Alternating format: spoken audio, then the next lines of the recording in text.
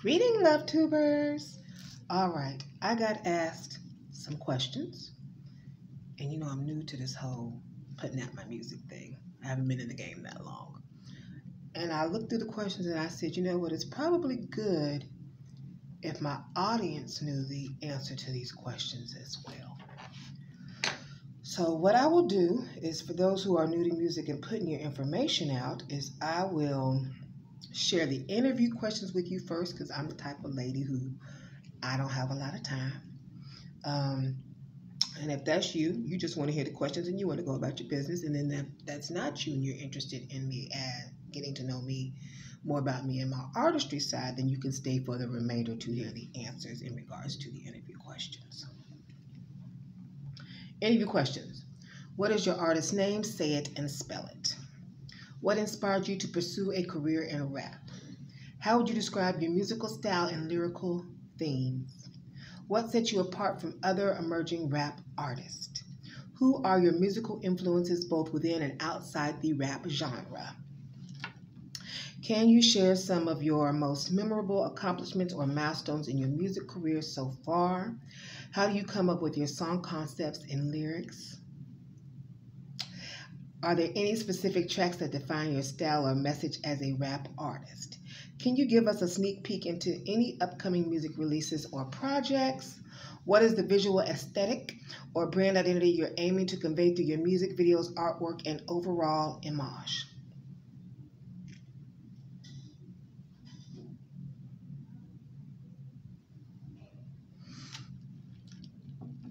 So, for those who, those were the questions. All the questions. And I answered yesterday, and I had actually recorded while I was answering the message and sending the voice note over to the individual requesting it. But uh, it was a little dark in the room. And I said, you know what? This is a special opportunity for somebody who's just meeting me. This is their first time.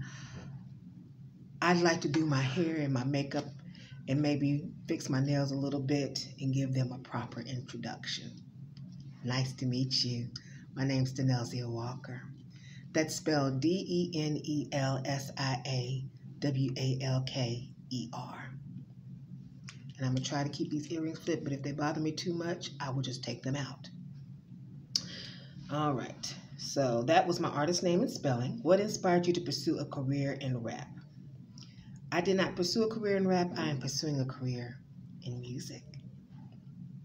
Um, how would you describe your musical style and lyrical themes? The genre I mostly participate in is spoken word, jazz, neo soul, R&B, and I do like a little bit of reggae or Afro beats.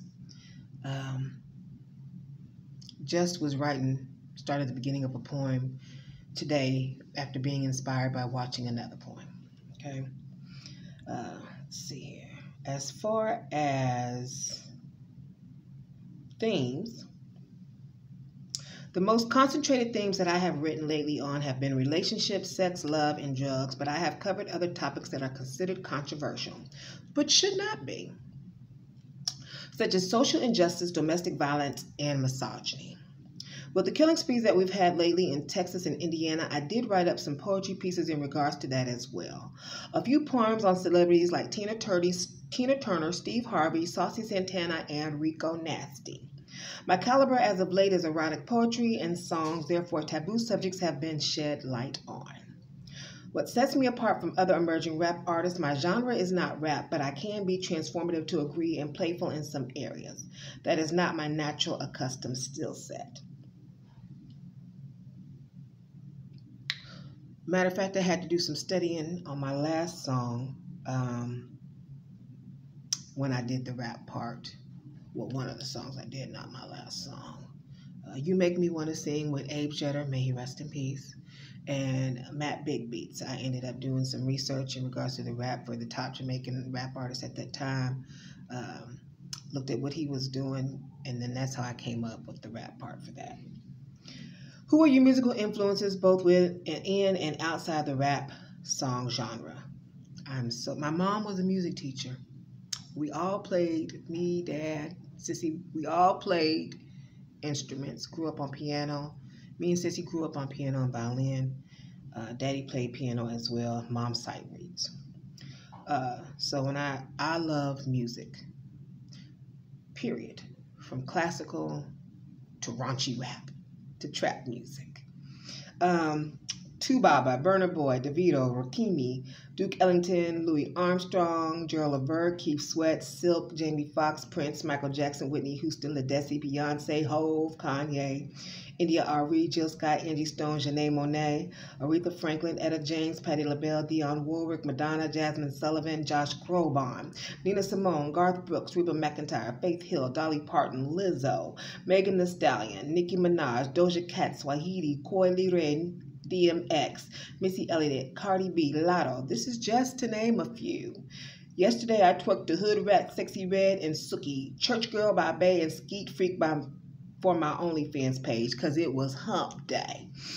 Digital Underground, Christina Aguilera, Rihanna, Mariah Carey, Adele, Too Short, Snoop, Dr. Dre, and Pharrell.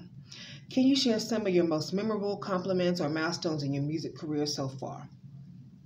I performed at the Ice Lounge here in Indianapolis when it was around downtown. I also performed at the Indiana War Museum in downtown Indianapolis, an event called Meeting of the Faiths. I was in a group called Writer's Block. We performed all over Indianapolis for events and our own competitions.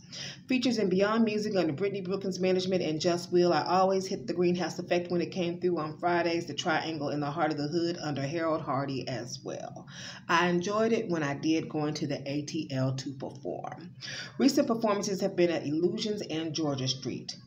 How do you come up with your song concepts and lyrics? Well, this is my favorite question out of all the questions besides my artistry name. It's really simple.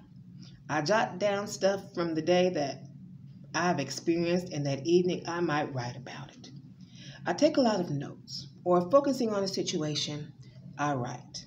I may hear an interview, and if I was inspired by that interview, I'm going to just write up a poem right there or a song.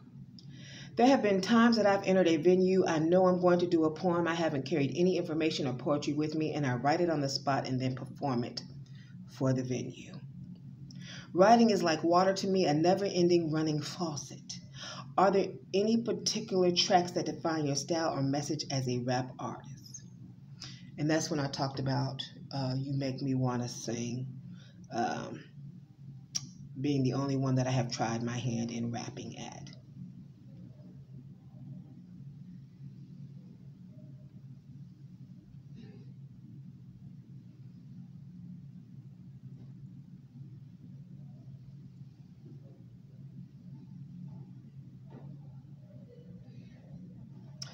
Can you give us a sneak peek into what was going through my mind? Because I got I got kind of quiet. I was thinking of anyone in particular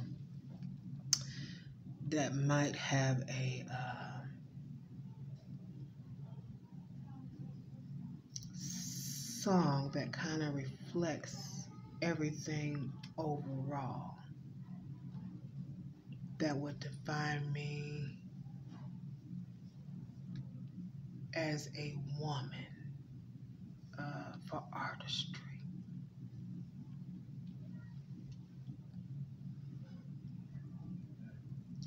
If I had to name this somebody off the bat, it would be um, Etta James. She did a song called um, "I Am Woman." you can't hardly find the non-drunk version on the internet. But it's a lovely song. And I think that that would describe me uh, pretty much overall. Well, a sneak peek in regards to artistry. I wrote a poem off that called I Am Woman, actually. Um, that's on my Supreme Reign Love Redefined soundtrack. Can you give us a sneak peek into any upcoming music releases or projects? Well, I just released three EPs. Did I bring my maracas with me? The maracas are sitting at home, child. Normally I carry my maracas with me. Here, there you go. There's the maracas. Um, I'm going to see how they do as far as the um, EPs. And then, depending on how those succeed, determines, you know, what comes up next, how well they are uh, received. The new releases are uh, Live Life and Love Ferociously, Soul Tonic, Harmony, Infinite Wealth, and Luxury. So the first one is Live Life and Love Ferociously. The second one is Soul Tonic. I don't have it spelled ghetto. It is exactly how it sounds. Soul Space Tonic. Um, harmony, Infinite Wealth, and Luxury, and of course, commas in between there. So normal spelling. Let's see here. Not that I am against Ebonics or being creative in the spelling area, but I kept it real simplistic. Um, let's see. I'd like to be able, I do have one more EP that I would like to put out this year, um, but the people at DistroKid and their system, uh, I, I, I don't know. Once the system is properly updated to be able to accomplish adding simple things such as a new phone number, we might do that or we might seek other means to complete that. I'm still going through it with them.